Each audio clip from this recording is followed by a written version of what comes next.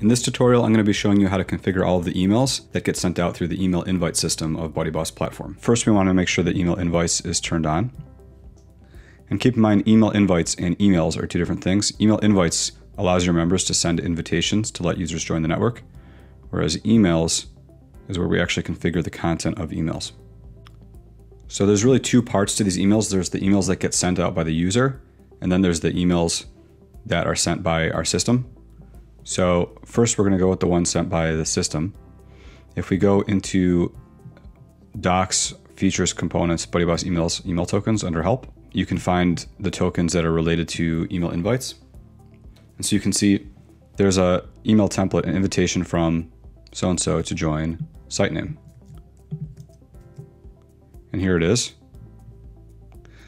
This is the email that gets sent out by the system. You've been invited by inviter name to join the site and here's the title, the subject of that message.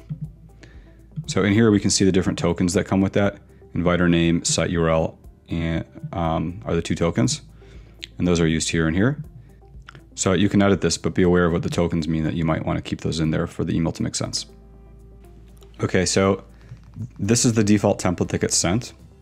Now we can go into settings, invites, and then we have a, an option to allow members to overwrite the subject and content of the email.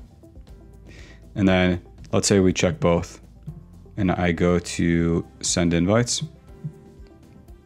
Now I'm, I can invite people from outside the network to join and it lets me overwrite the email invitation subject and the email invitation content.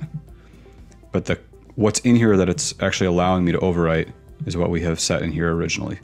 So if you edit this stuff and save it and then come back here, the content that's in here will reflect this and you can see the tokens being fed in actually inviter name. That's me and BuddyBoss Platform is just the name of this website. You can see the tokens being fed in here. And then if you ever want to revert, let's say you mess this up and you ever want to revert this back to how it originally was, you can always go into BuddyBoss Tools and then under Repair Community, we can click Reinstall Emails and click that Repair Items button and it's going to erase and reinstall all the emails in the system back to the defaults.